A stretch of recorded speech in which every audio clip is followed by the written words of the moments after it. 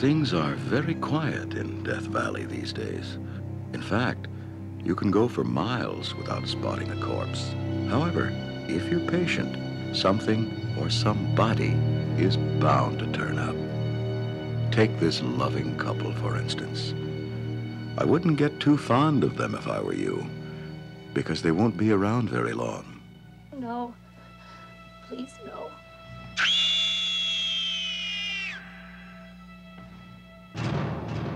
A pity. They seemed so nice.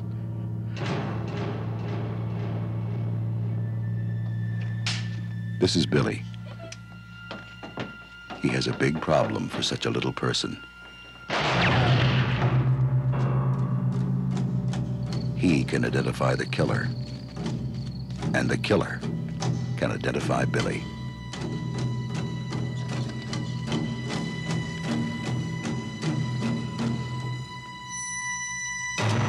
Now, this chap is the local sheriff. The sheriff is wondering who is behind that door. Unfortunately, he is.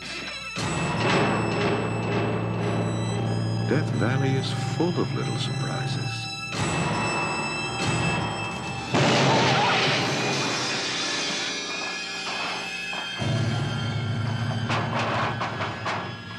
I'm dancing on the roof, and there ain't nothing you can do about it.